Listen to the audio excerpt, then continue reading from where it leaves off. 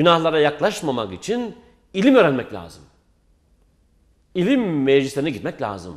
Günahlara yaklaşmamak için günahlara yaklaşılmaması gerektiğini güzel bir dille söyleyen arkadaşlarımızın olması lazım.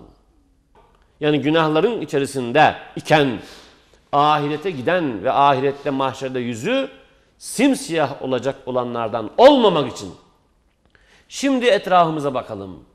Kimlerle görüşüyoruz? Kimleri seviyoruz? Evet insanlarla iyi geçinmeye dikkat etmeliyiz ama arkadaşın yeri ayrı. Çevremizde kimler var? Kimlerle arkadaşlık yapıyoruz?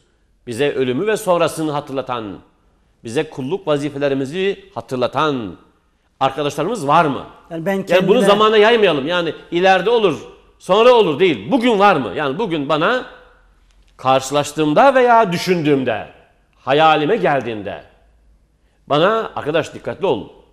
Bak bu dünya imtihan yeridir. Sırf lezzet yeri değildir. Evet meşru dairede, helal dairede lezzet vardır.